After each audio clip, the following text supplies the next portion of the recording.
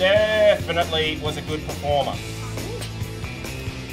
And now, which one was the lowest? Full. Paul. Now, did it go higher than me? No. No, so really, it didn't even go as high as a person.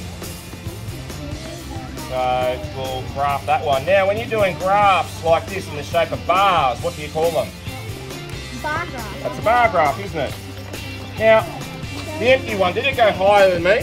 Yeah. Did it go right up into the clouds? No. Well, it went about as high as the tree. Yeah. So empty does about That one. a medium performance, doesn't it? Yeah. Okay. So we'll hatch, we'll uh, hatch that one. Okay. So now you have your data. You can look at that and you can decide how much water you want to put in it. If you want to go really high, how much would you put in? 好